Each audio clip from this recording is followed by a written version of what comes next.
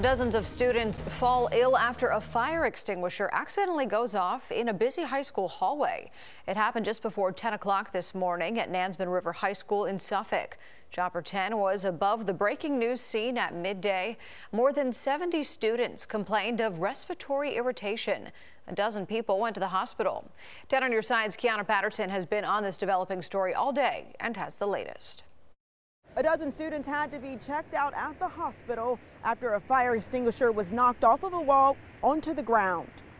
The class change this morning at Nansemond River High School interrupted. There was like a huge cloud of smoke and everybody was running and there was like a crowd of people. A fire extinguisher went off near the cafeteria around 10, sending a dozen students and an adult to the hospital with breathing issues or coughing.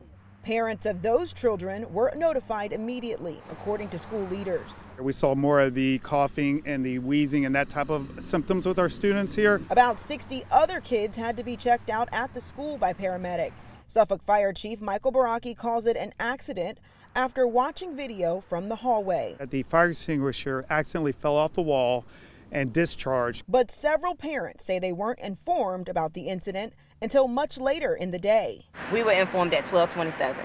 When this email went out to parents. As soon as it happened, they should have put together that email and alerted us then. Ebony Holland Person says she rushed to the school to take her child to get checked. My daughter has asthma, and then it's like, you know, kids in here have asthma. She was exposed.